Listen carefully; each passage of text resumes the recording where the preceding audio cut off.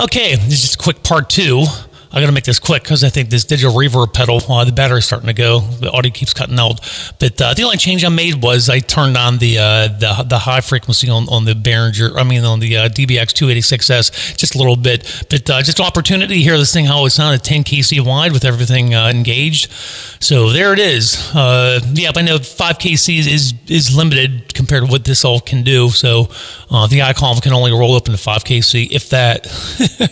but here it is, 10 kC wide, and uh, yeah, two well three pieces of gear really.